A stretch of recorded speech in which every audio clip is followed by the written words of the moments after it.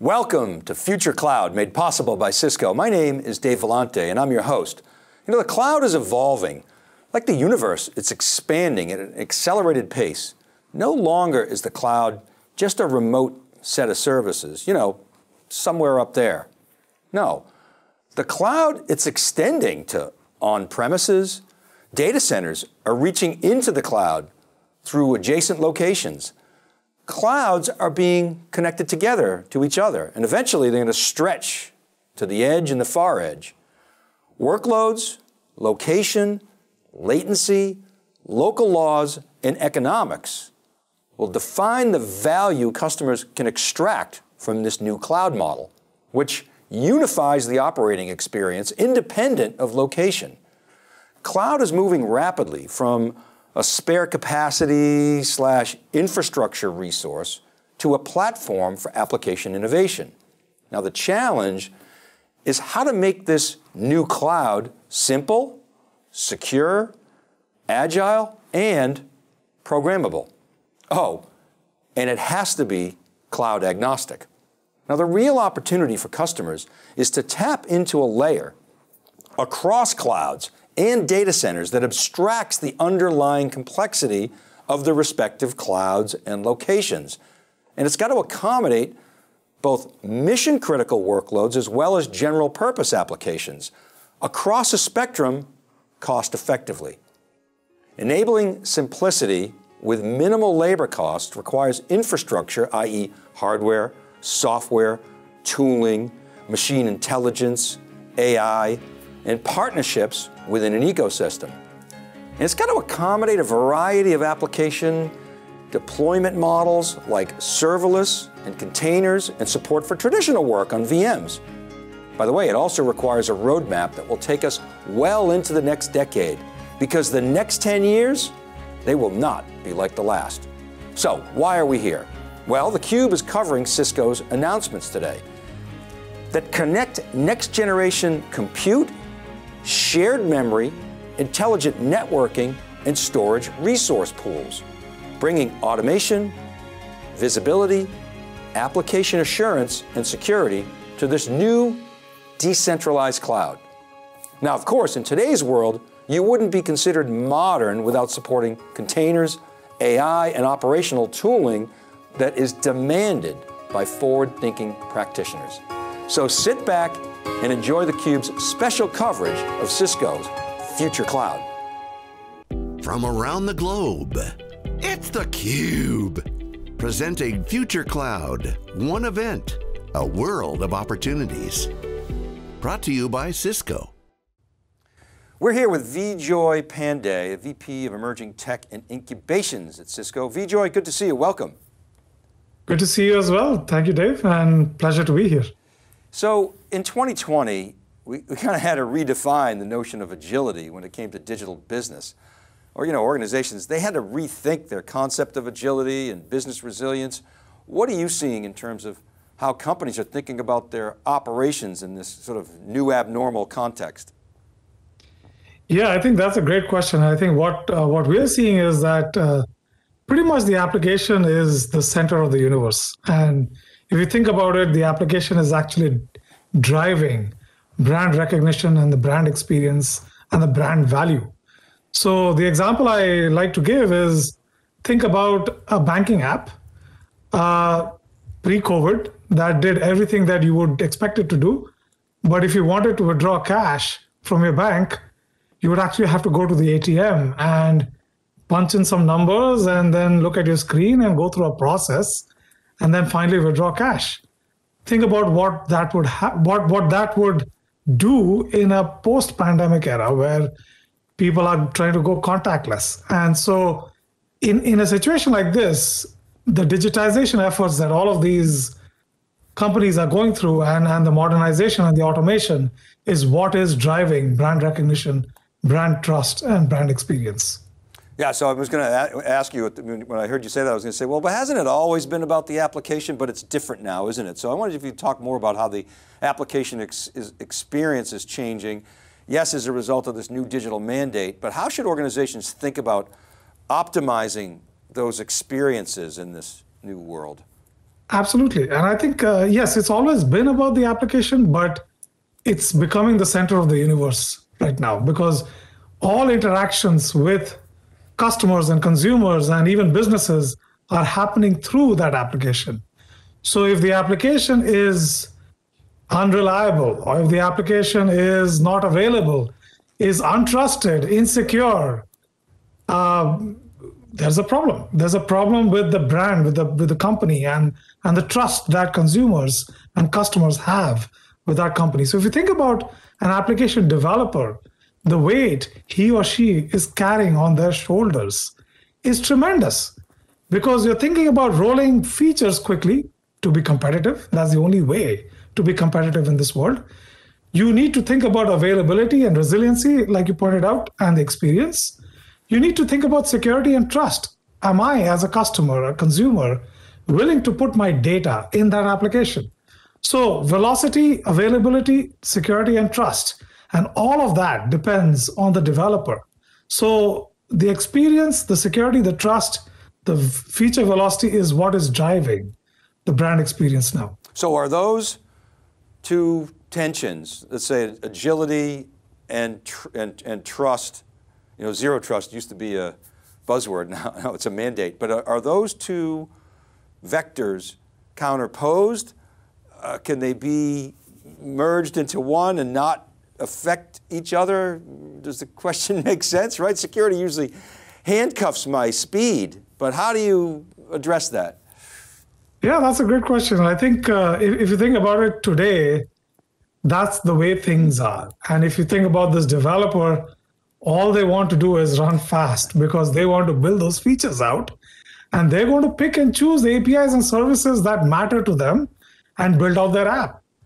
And they want uh, the complexities of the infrastructure and, and, and security and trust to be handled by somebody else. It's not that they don't care about it, but they want that abstraction so that it's handled by somebody else. And typically within an organization, we've seen in the past where there's friction between NetOps, SecOps, IT ops, and, and the cloud platform teams and the developer on one side. I mean, these these frictions and these meetings and toil actually take a toll on the developer, and that's why companies and apps and developers are not as agile as they would like to be. So I think, but it doesn't have to be that way. So I think if there was something that would allow a developer to pick and choose, discover the APIs that they would like to use, connect those APIs in a very simple manner, and then be able to scale them out and be able to secure them. And in fact, not just secure them during the runtime when it's deployed, but right off the bat when they fire up that IDE and start developing the application. Wouldn't that be nice?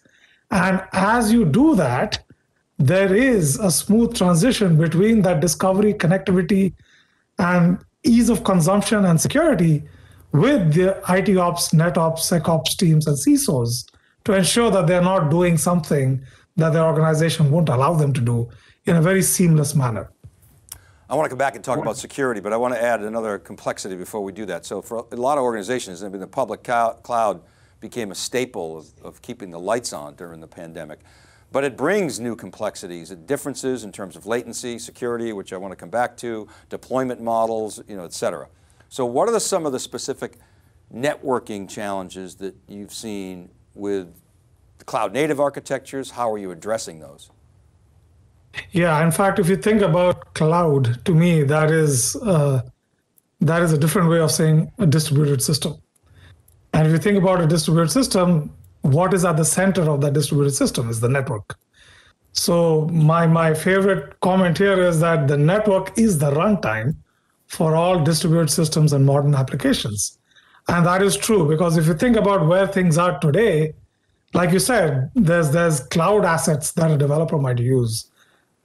In the banking example that I gave earlier, I mean, if you want to build a contactless app so that you get verified, a customer gets verified on the app, they walk over to the ATM and they withdraw cash without touching that ATM. In that kind of an example, you're touching the mobile iOS, let's say iOS APIs, you're touching cloud APIs where the backend might sit, you're touching on prem APIs, maybe it's an Oracle database or a mainframe, even where transactional data exists. You're touching branch APIs where the, the ATM actually exists and there needs to be consistency when you withdraw cash. And you're carrying all of this. And in fact, there might be customer data sitting in Salesforce somewhere. So it's cloud APIs, it's on prem, it's branch, it's SaaS, it's mobile. And you need to bring all of these things together. And over time, you'll see more and more of these APIs coming from various SaaS providers. So it's not just cloud providers, but SaaS providers that the developer has to use. And so this complexity is very, very real. And this complexity is across the wide open internet. So the application is built across this wide open internet. So the problems of discoverability, the problems of being able to simply connect these APIs and manage the data flow across these APIs, the problems of consistency of policy and consumption, because all of these APIs have their own nuances and what they mean, what the arguments mean, and what the API actually means. How do you make it consistent and easy for the developer? That is the networking problem. And that is the problem of building out this network, making traffic engineering easy, making policy easy, making scale out, scale down easy. All of that are networking problems. And so we are solving those problems uh, at Cisco. Yeah, the internet is a new private network, but it's not always so private. But so I want to come back to security. You know, I, I, often say that the security model of building a moat, you dig the moat, you get the hardened castle, that's just outdated now. The, the queen has left her castle, I always say, and it's dangerous out there. And the point is, and you, you touched on this, it's, it's a huge decentralized system, and with distributed apps and, and data, that notion of perimeter security, it's just no longer valid.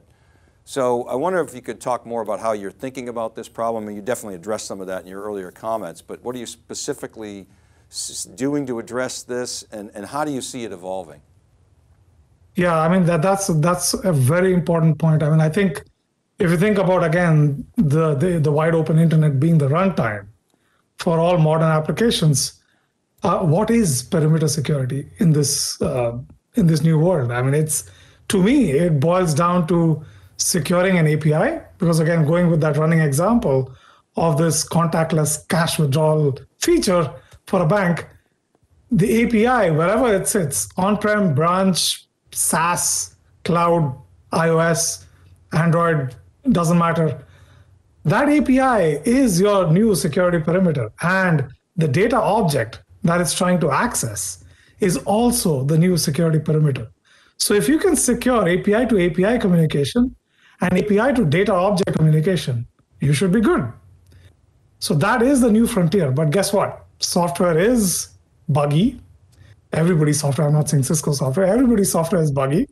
Uh, software is buggy, humans are uh, not reliable. And so things mature, things change, things evolve over time. So there needs to be defense in depth. So you need to secure at the API layer, at the data object layer, but you also need to secure at every layer below it so that you have good defense in depth. If any layer in between is not working out properly. So for us, that means ensuring API to API communication, not just during runtime when the app has been deployed and is running, but during deployment and also during the development lifecycle.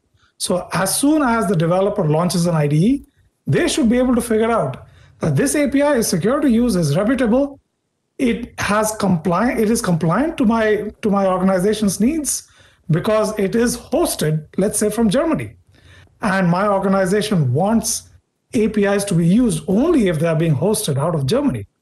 So compliance needs and and security needs and reputation is it available all the time? Is it secure and being able to provide that feedback all the time between the security teams and the developer teams in a very seamless real-time manner is again that's something that we're trying to solve through some of the services that we're trying to produce inside of Cisco. Yeah, I mean those yeah. that layered approach that you're talking about is, is critical because every layer has you know some vulnerability, and so you, you you've got to protect that with with some some depth. In terms of thinking about security, how, how should we think about where where Cisco's primary value add is? I mean, there's parts of the industry. You guys have a great security business; it's a growing business. Is it your intention to, to, to, to add value across the entire value chain? I mean, obviously you can't do everything, so you got a partner, but how should we think about Cisco's role you know, over the next, I'm thinking longer term, over the, over the next decade?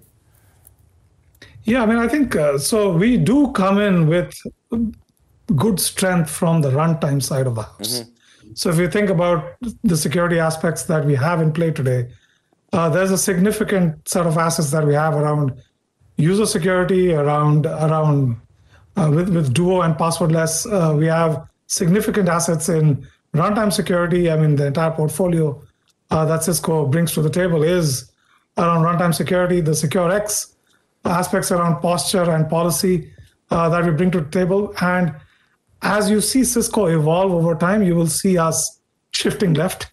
I mean, I know it's an overused term, but that is where security is moving towards. And so that is where API security and data security are moving towards. So learning what we have during runtime, because again, runtime is where you learn what's available. And that's where you can apply all of the ML and AI models to figure out what works, what doesn't. Taking those learnings, taking those catalogs, taking that reputation database and moving it into the deployment and development lifecycle and making sure that that's part of that entire dev to deploy to runtime chain is what you will see Cisco do over time. That's fantastic, phenomenal uh, perspectives. Vijoy, thanks for coming uh, on theCUBE. Great to have you, and uh, look forward to having you again. Absolutely, thank you. In a moment, we'll talk hybrid cloud applications, operations, and potential gaps that need to be addressed with Kaustubh Das and Vijay Venugopal. You're watching theCUBE, the global leader in high-tech coverage. Your cloud it isn't just a cloud. It's everything flowing through it. It's alive, connecting users, applications, data, and devices. And whether it's cloud native, hybrid, or multi-cloud, it's more distributed than ever. One company takes you inside, giving you the visibility and the insight you need to take action.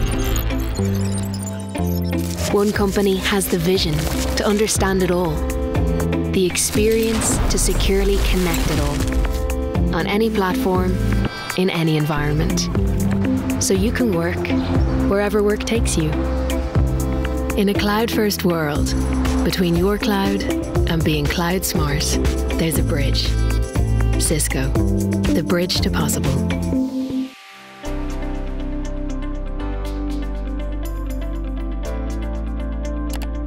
Okay, we're here with Kaustubh Das, who's the Senior Vice President, uh, General Manager of Cloud and Compute at Cisco, and Vijay Venugopal, who is the Senior Director for Product Management for Cloud Compute at Cisco. KD, VJ, good to see you guys. Welcome.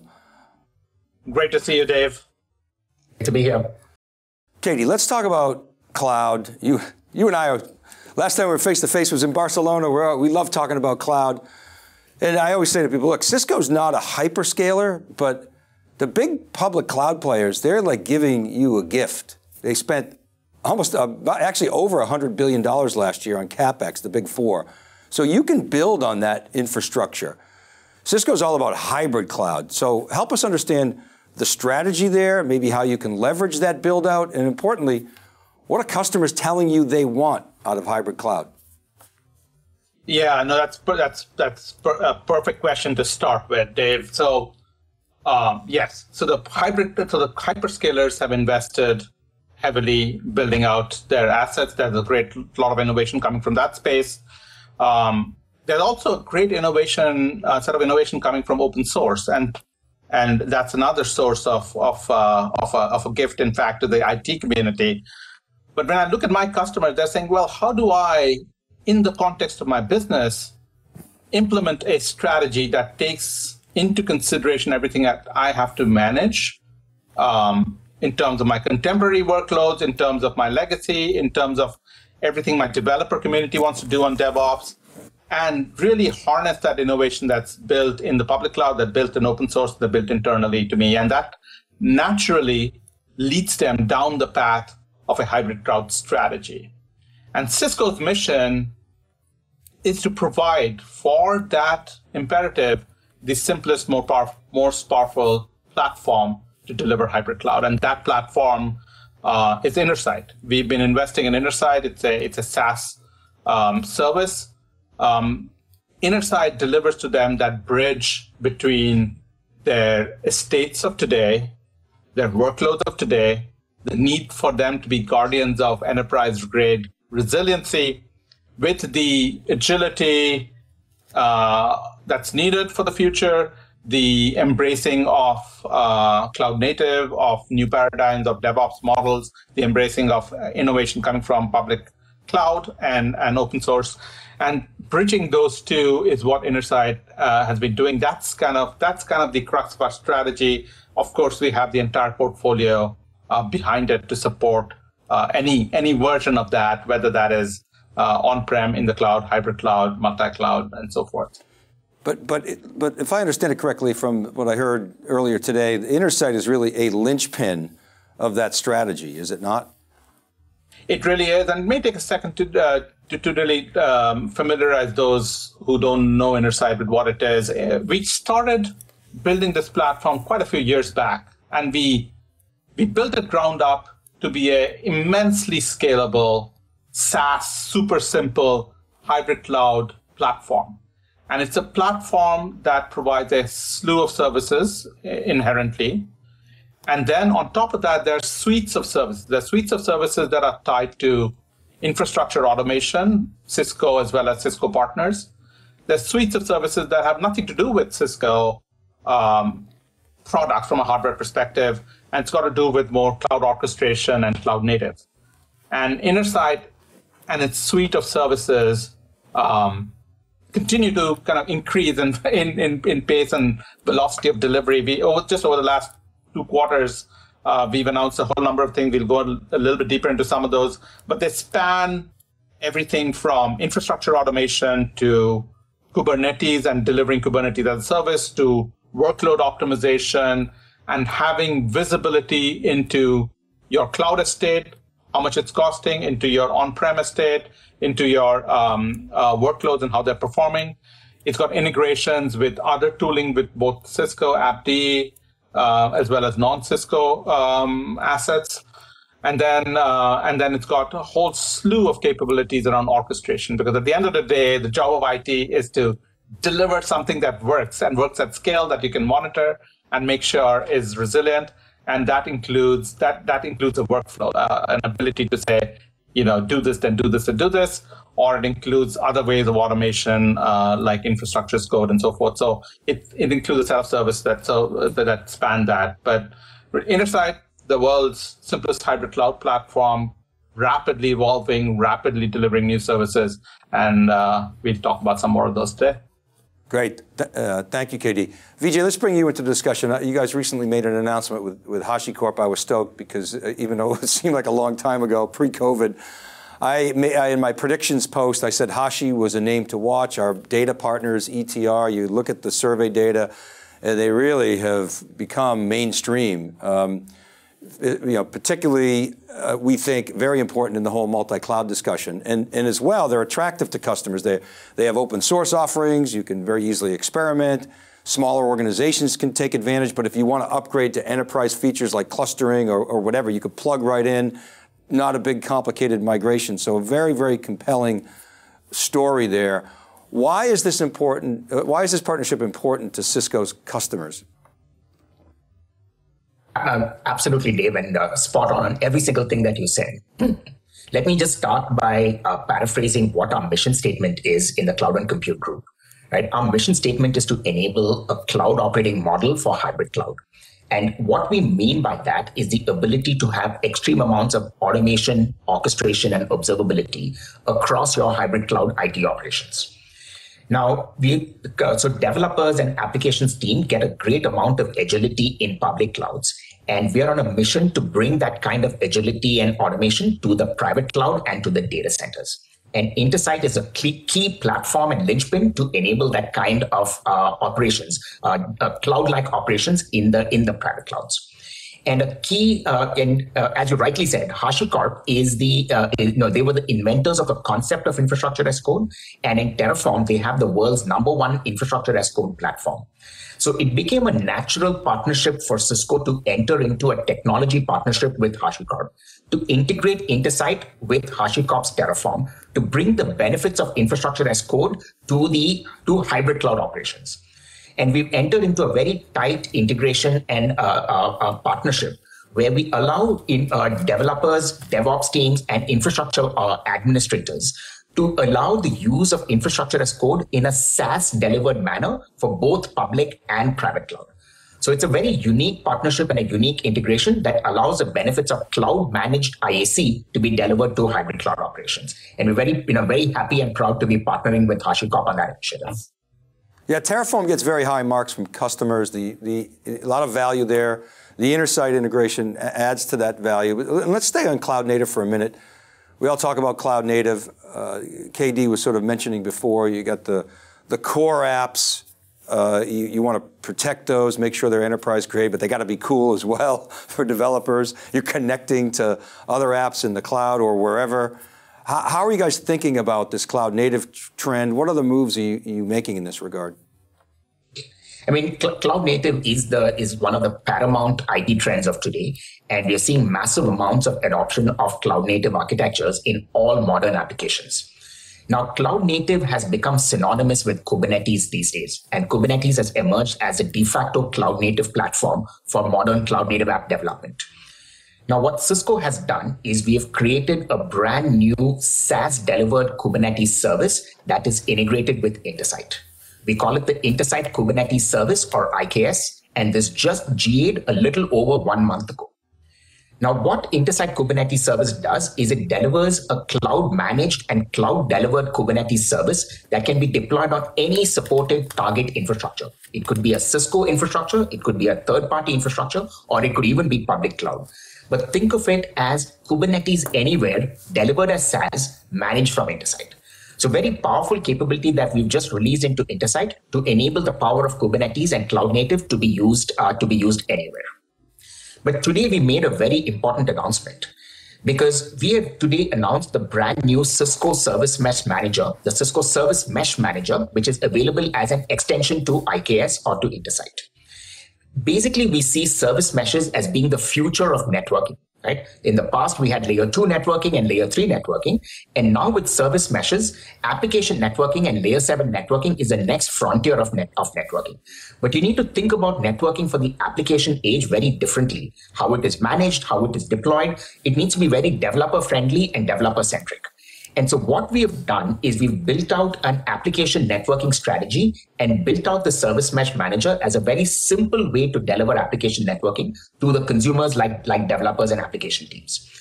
This is built on an acquisition that Cisco made recently of Banzai Cloud. And we've taken the assets of Banzai Cloud and delivered the Cisco Service Mesh Manager as an extension to IKS that brings the promise of future networking and modern networking to application and developer teams. Got it. Th thank you, Vijay. And so, KD, let's let's let's wrap this up. I mean, there was a lot in this announcement today. A lot of themes around openness, heterogeneity, and a lot of functionality and value. Uh, give us your final thoughts. Absolutely. So, a couple of things to close on. First of all, um, Intersight is the simplest, most powerful hybrid cloud platform out there. It enables that that cloud operating model that that Vijay talked about uh, but enables that across cloud. So it's SaaS. It's relatively easy to to get into it and give it a spin. So that I'd highly encourage anybody who's not familiar with it to try it out, and anybody who is familiar with it to look at it again because there are probably services in there that you didn't notice uh, or didn't know last time you looked at it uh, because we're moving so fast. So that's the first thing. The second thing I'd close with is um, we we've been talking about this bridge that's kind of bridging bridging uh, your your on-prem, your open source, your your cloud estates, and it's so important to uh, to make that mental leap because uh, in pa- in past generations we used to talk about integrating technologies together, and then with public cloud we started talking about move to public cloud. But it's really how do we integrate how do we integrate all of that innovation that's coming from the hyperscalers, everything they're doing to innovate super fast. All of that innovation that's coming from open source. All of that innovation that's coming from from companies um, uh, around the world, including Cisco. How do we integrate that to deliver an outcome? Because at the end of the day, if you're a cloud ops team, if you're an IT ops team, your job is to deliver an outcome. And our mission is to make it super simple for you to do that. So that's the mission we're on. And we're uh, hoping that everybody's as excited as we are about how simple we made that. Great, thank you. A lot in this announcement today. Appreciate you guys coming back on and help us, you know, unpack, you know, some of the detail. Th thanks so much. Great having you. Thank you, Dave. In a moment, we're going to come back and talk about disruptive technologies and futures in the age of hybrid cloud with Vikas Ratna and James Leach. You're watching theCUBE, the global leader in high-tech coverage. What if your server box wasn't a box at all? What if it could do anything, run anything, be any box you need, with massive scale, precision, and intelligence? Managed and optimized from the cloud, integrated with all your clouds, private, public, or hybrid. So you can build whatever you need today and tomorrow. The potential of this box is unlimited, unstoppable, unseen ever before. Unbox the future with Cisco UCS X Series, powered by Intersight. Cisco, the bridge to possible.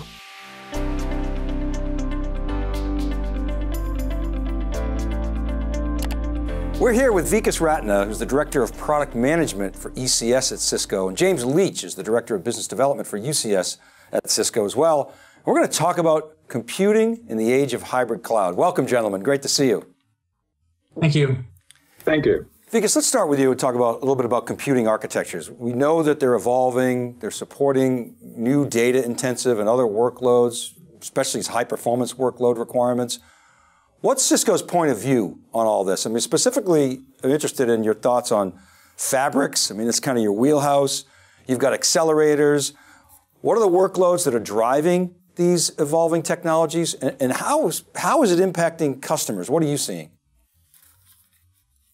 Sure, Dave. Uh, first of all, very excited to be here today. You're absolutely right.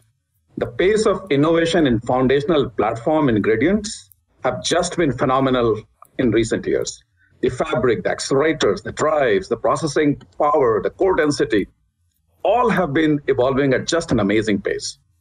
And the pace will only pick up further. But ultimately, it is all about applications and the way applications leverage those innovations.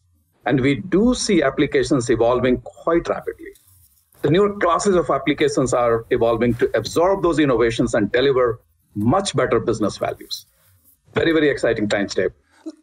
But talking about the impact on the customers, well, these innovations have helped them very positively. We do see significant challenges in the data center with the point product based approach of delivering these platform innovations to the applications. What has happened is uh, these innovations today are being packaged as point, point products to meet the needs of a specific application. And as you know, the different applications have no different needs. Some applications need more GPUs, others need more memory, yet others need you know more cores. Some need you know different kind of fabrics. As a result, if you walk into a data center today, it is very common to see many different point products in the data center. This creates a manageability challenge. Imagine the aspect of managing, you know, several different form factors, 1U, 2U, uh, purpose-built servers, uh, the variety of you know a blade form factor. You know, this reminds me of the situation we had before smartphones arrived. You remember the days when you when we used to have a GPS device for a navigation system, a cool music device for listening to the music, a phone device for making a call, camera for taking the photos, right? And we were all excited about it. It's when smartphones arrived that we realized all those cool innovations could be delivered in a much simpler much convenient and easy to consume way through one device and you know could could uh, and, and that could completely transform our experience so we see the customers who are benefiting from these in, uh, innovations to have a way to consume those things in a much more simplistic way than they are able to do today And, and, I like, mean, look, it's always been about the applications, but to your point, the applications are now moving at a much faster pace. The, the customer experience is, is expectation is way escalated. And when you combine all these, I love your analogy there, because, because when you combine all these capabilities, it allows us to develop new applications, new capabilities, new customer experiences. So that's, the, I always say the, the, the next 10 years, it ain't going to be like the last. and James, absolutely. Uh, public cloud obviously is heavily you know, influencing compute design and, and, and customer operating models. You know, it's funny, when, when the public cloud first hit the market, everyone, we were swooning about, oh, low cost, standard off the shelf servers, you know, and storage devices. But it quickly became obvious that, that customers needed more. So I, I wonder if you could comment on this. How are the trends that we've seen from the hyperscalers, how are they filtering into on-prem infrastructure? And maybe, you know, maybe there's some differences there as well that you could address.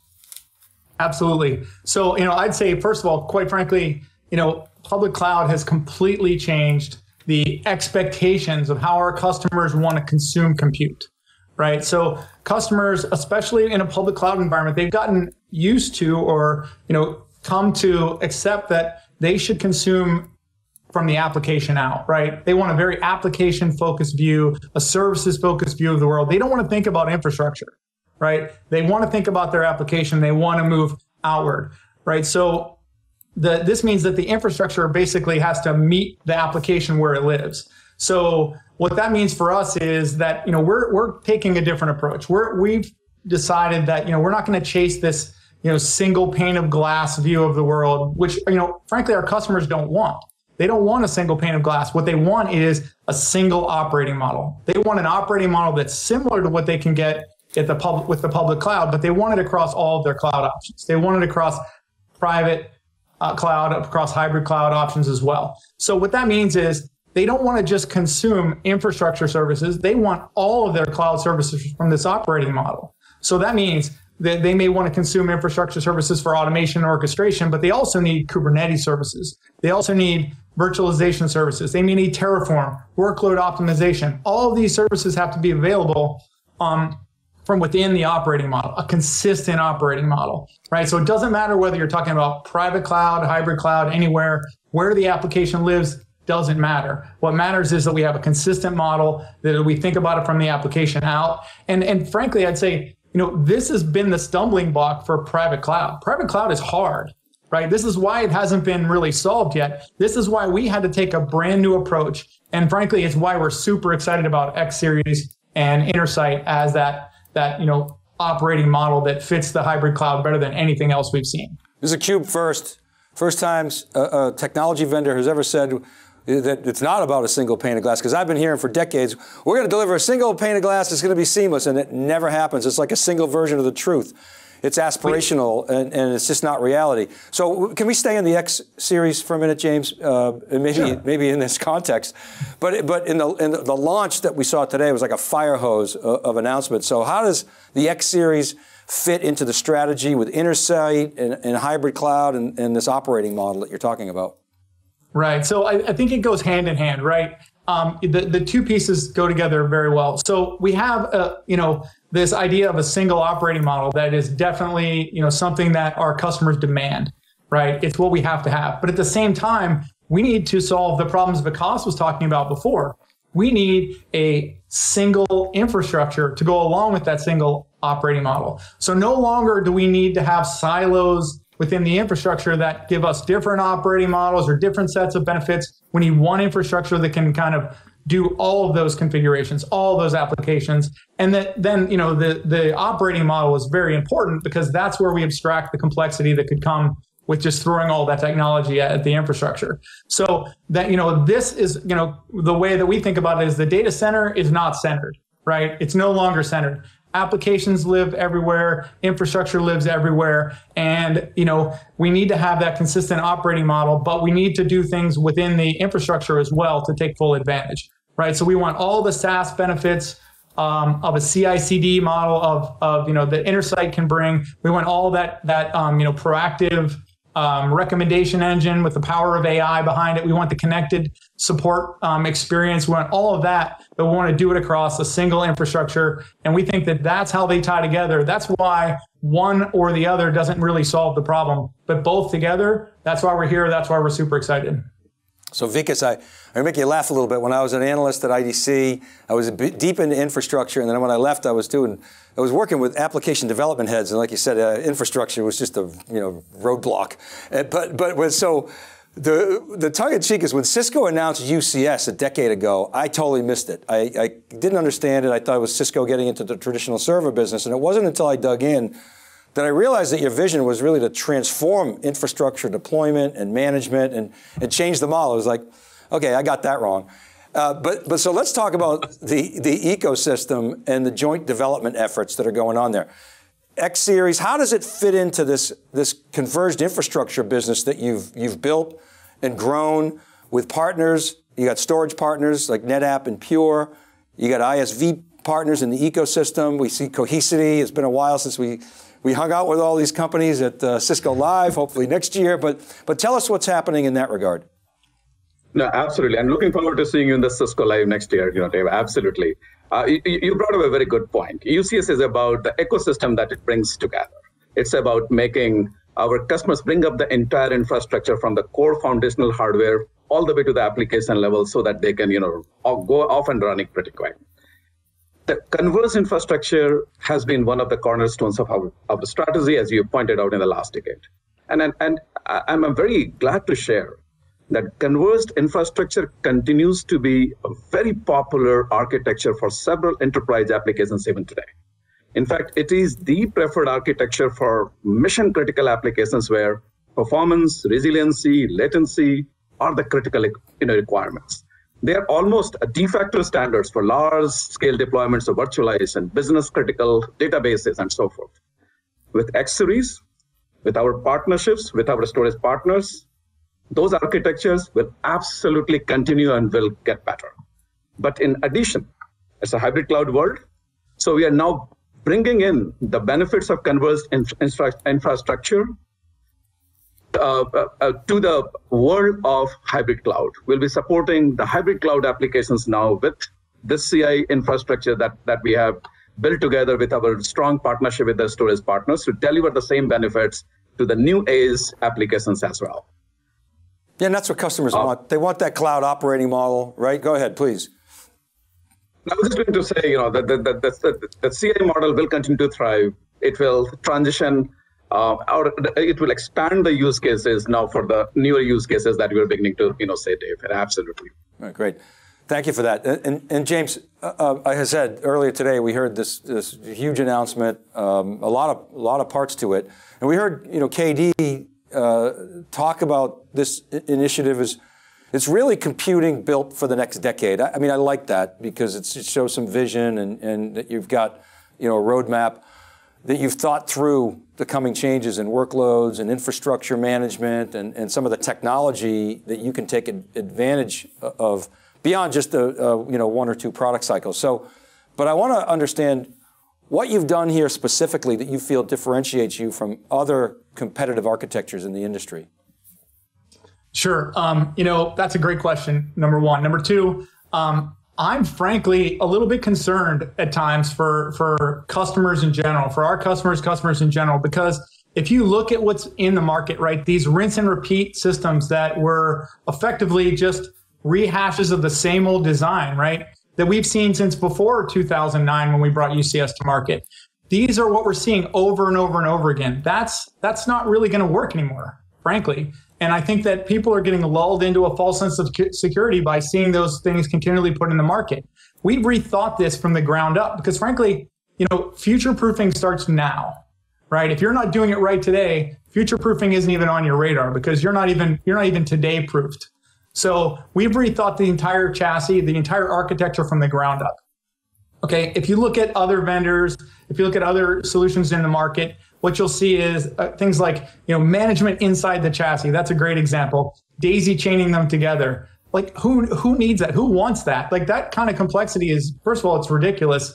Um, second of all, um, if you want to manage across clouds, you have to do it from the cloud. right? It's just common sense. You have to move management where it can have the scale and the scope that it needs to impact you know your entire domain your world which is much larger now than it was before we're talking about true hybrid cloud here right? So we had to you know solve certain problems that existed in the traditional architecture. You know um, I, we, I, can't tell you how many times i heard you know talk about you know the the, the mid plane is a great example. We, you know the mid plane in a chassis is a limiting factor.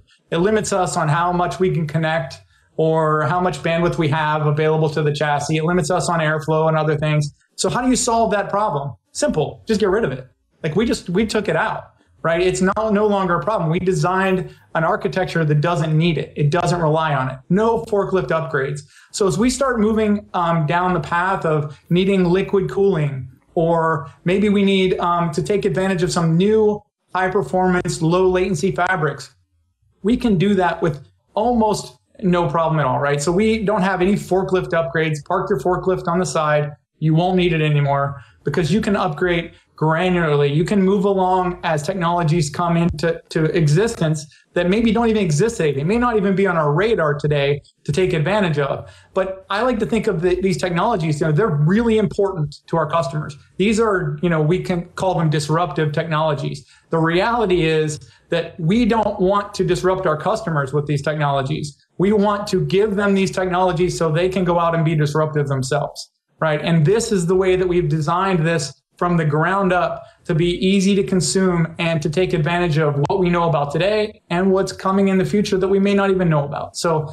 we think this is a, a way to give our customers that ultimate capability, flexibility, and uh, and, and future proofing. I like how I like that phrase, true hybrid cloud. It's one that we've used for, for years. And but to me, this is all about that horizontal infrastructure that can support that vision of what true hybrid cloud is. Uh, you could support the mission critical applications. You can you can develop uh, uh, on the system, and you can support a, a, variety of workloads. You're not locked into you know one narrow stovepipe, and and that does have legs. Vikas and James, thanks so much for coming on the program. Great to see you. Thank you. Appreciate the Thank time. you. When we return shortly, Thomas Scheibe, who leads Cisco's data center group, will be here. And Thomas has some thoughts about the transformation of networking IT teams. You don't want to miss what he has to say. You're watching theCUBE, the global leader in high-tech coverage.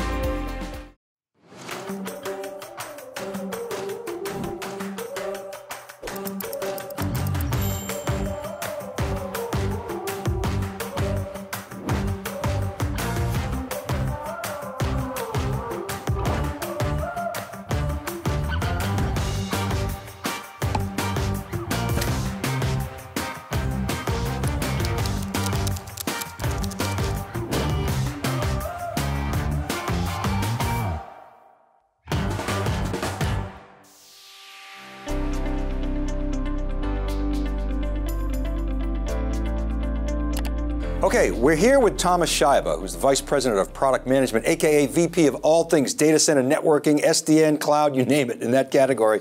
Welcome, Thomas. Good to see you again. Hey, Sim. Yes, thanks for having me on. yeah, it's our pleasure.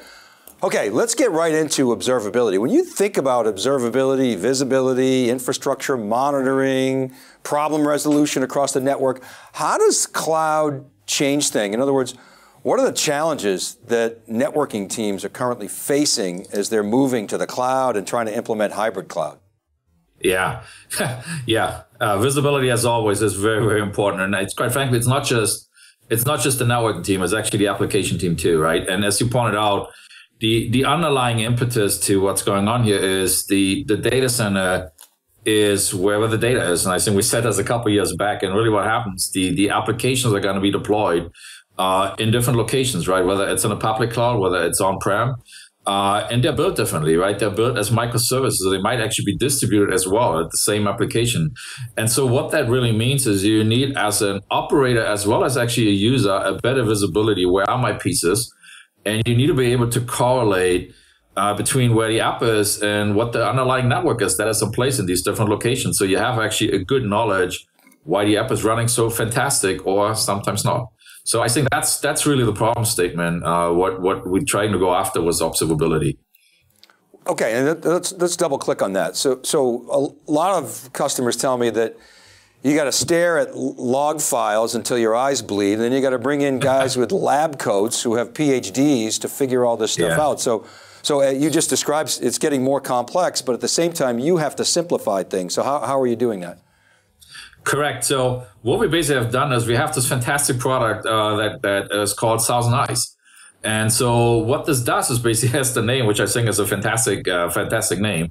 You have these sensors everywhere, um, and you can have uh, a good correlation on uh, links between if I run uh, from a site to a site, from a site to a cloud, from a cloud to a cloud, and you basically can measure what is the performance of these links. And so what we're what we're doing here is we're actually extending the footprint of these thousand eyes agent, right? Instead of just having them uh, in virtual machine clouds, we are now embedding them with the Cisco network devices, right? We announced this with the uh, Catalyst uh, 9000, and we're extending this now to our um, uh, 8000 Catalyst product line for the for the SD WAN products, as well as to the data center products, the Nexus line. Um, and so what you see is, is you know, half a saying you have thousand eyes, you get a million insights, and you get a billion dollar of improvements uh, for how your applications run. And this is really um, the the power of tying together the uh, footprint of where the network is with the visibility, what is going on, so you actually know the application behavior that uh, is attached to this network.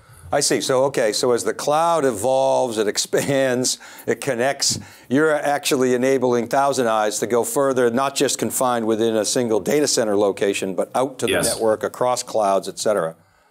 Correct. Wherever the network is, you're going to have a thousand eye sensor and you can bring this together and you can quite frankly pick. If you want to say, hey, I have my application in public cloud provider A, uh, domain one, and I have another one, domain two, I can do monitor that link. I can also monitor, I have a user that has a campus location or branch location. I kind of put an agent there and then I can monitor the connectivity from that branch location all the way to the, let's say, corporation's uh, data center or headquarter or to the cloud. And I can have these probes and just really have visibility and saying, hey, if there's a performance, I know where the issue is. And then I obviously can use all the other tools that we have to address those. All right, let's talk about the cloud operating model. Everybody tells us that you know it's it's really the change in the model that drives big numbers in terms of ROI. And, and I want you to maybe address how you're bringing automation and DevOps to this world of, of hybrid, and specifically, how is Cisco enabling IT organizations to move to a cloud operating model as that cloud definition expands? Yeah, no, that's that's another interesting topic beyond the observability. So really, really, what we're seeing, and this is going on for uh, I want to say a couple of years now.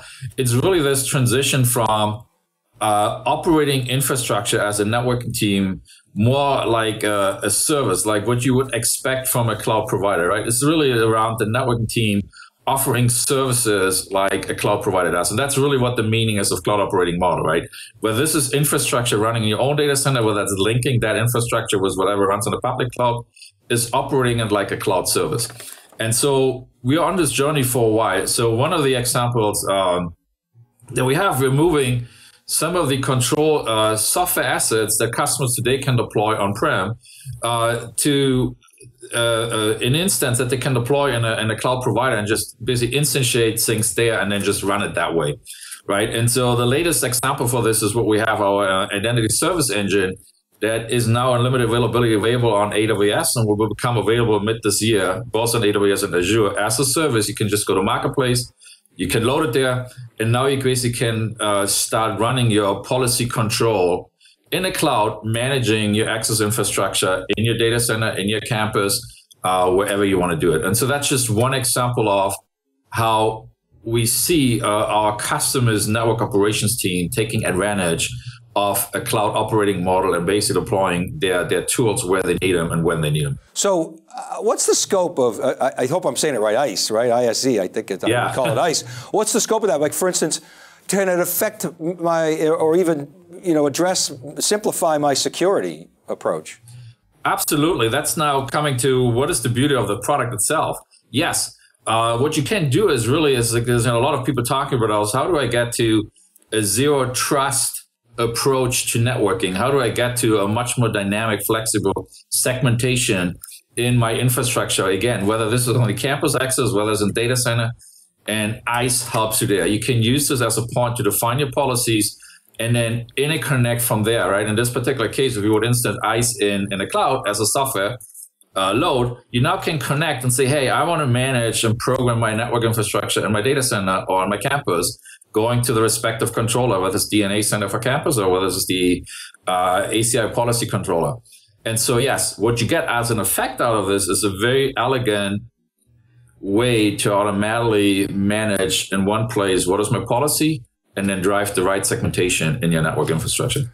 Yeah, zero trust. It, you know, it was pre-pandemic. It was kind of a buzzword. Now it's become a mandate. I, I, I wonder if we could talk yes. about yeah, right. I mean, so I, I wonder if we could much. talk about cloud native apps. Uh, you got all these yeah. developers that are working inside organizations. They're maintaining legacy apps. They're connecting their data to, to systems in the cloud. They're sharing that data. And these, these developers, they're rapidly advancing their skill sets.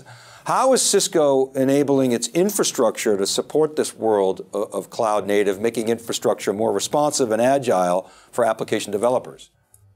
Yeah, so you, you, we're going to the top. We start with visibility. We talked about the operating model, how, how our network operators actually want to use tools going forward. Now, the next step to this is it's not just the operator. How do they actually, where do they want to put these tools? How they, how they interact with these tools? as well as quite frankly is how let's say a DevOps team or an application team or a cloud team also wants to take advantage of the programmability of the underlying network. And this is where we're moving into this whole cloud native discussion, right? Which has really two angles. There is the the cloud native way how applications are being built, and then there is the cloud native way how you interact with infrastructure, right?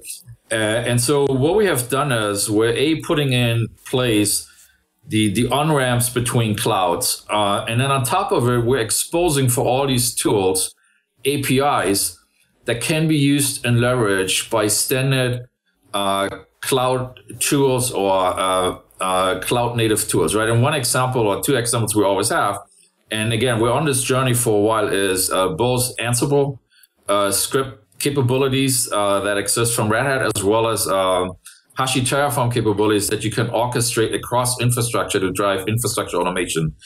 And what, what really stands behind it is what either the networking operations team wants to do or even the uh, app team. They want to be able to describe the application as a code and then drive automatically or programmatically instantiation of infrastructure needed for that application. And so what you see us doing is providing all these uh, capability as an interface for all our networking tools, right? Whether this is ISE, what I just mentioned, whether this is our uh, DCN controllers in, in the data center, uh, whether these are the controllers in the uh, in the campus. For all of those, we have cloud native interfaces. So uh, operator or a DevOps team can actually interact directly with that infrastructure the way they would do today was everything that lives on the cloud or was everything how they built the application? Yeah, this is key. You can't even have the conversation of, of op cloud operating model that includes and comprises on-prem without programmable infrastructure. So that's, yeah. that's very important. Last question, Thomas. Are customers actually using this? You made the announcement today. Are there, are there any examples of customers out there doing this? We, we do have a lot of customers out there. Um, that are moving down the path and using the, the, the, Cisco high performance infrastructure, both on the compute side as well as on the Nexus side. Uh, one of the customers, uh, and this is like an interesting case, is Rakuten. Uh, Rakuten is a large telco provider, um, a mobile 5G operator uh, in Japan and expanding and is in different countries. Uh, and so people sometimes think, oh, cloud, you must be talking about the public cloud provider, the big, the big three or four. Uh, but if you look at it, a lot of the telco service providers are actually cloud providers as well and expanding very, very rapidly. And so we're actually very um, proud to work together with, with Rakuten and help them building a high performance uh, data center infrastructure based on 100 gig and actually 400 gig uh, to drive their deployment to it's a 5G mobile cloud infrastructure, which is which is uh, where the whole the whole world, frankly, is going. And so it's really exciting to see this development and see the power of automation visibility uh, together with the high performance infrastructure becoming reality and delivering actually uh, services. Yeah, some great points you're making there. I mean, yes, you have the big four clouds, they're enormous, but then you have a lot of actually quite large clouds, telcos that are either proximate to those clouds or they're in places where those hyperscalers may not have a presence and building out their, their own infrastructure. So, so that's a great case study.